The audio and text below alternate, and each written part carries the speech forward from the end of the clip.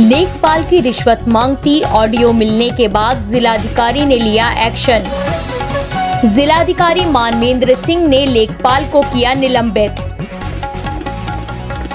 तहसील सदर मुरादाबाद के लेखपाल सुमन को निलंबित किया गया। जिलाधिकारी द्वारा तहसील सदर में तैनात लेखपाल सुमन को तत्काल प्रभाव से निलंबित करते हुए विभागीय कार्यवाही प्रारंभ करने के दिए निर्देश। लेखपाल सुमन पर अनुसूचित जाति के व्यक्ति से पट्टे के नाम पर एक लाख रुपए की रिश्वत लेने का आरोप।